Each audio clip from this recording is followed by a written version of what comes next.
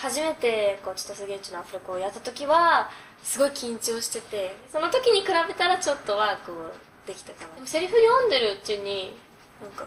千歳ちゃんになるっていうかこう「兄ちゃんラブ」とかすごい特徴的なセリフを何回か言ってると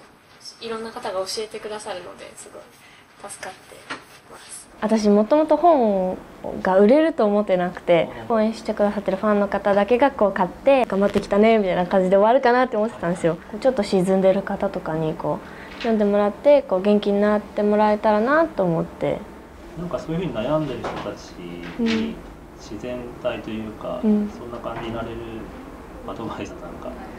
ちっちゃいことでいいと思います。笑顔で一日入れるようにしようとか本当にちっちゃなことからでいいかなって思います。